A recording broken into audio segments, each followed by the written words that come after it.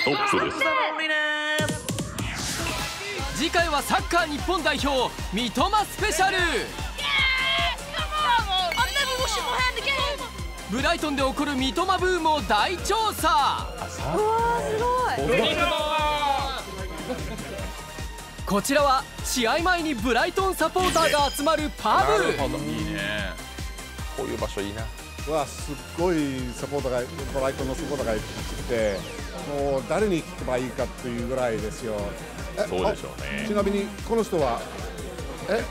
あお地元ファンのサイトで手に入れたんだ。すごい日本すごくクールだろ漢字で書かれた名前とどことなく似ている三笘のイラスト T シャツ。そんな似てなくないですか？なんとなく薄めで見てくれ。そこは。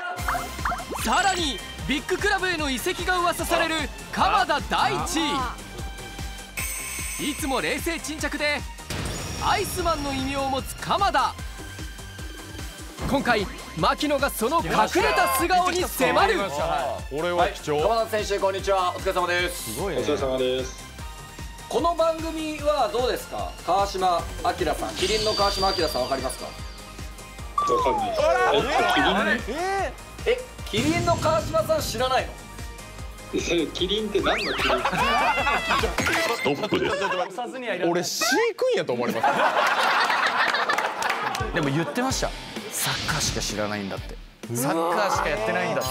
そりゃそうやんな。でもこれまた伸びしろじゃないですか川島さんアイスマンに知ってもらうまで頑張ろう俺は。飼育員じゃないんで私は。すいません。日曜夕方4時55分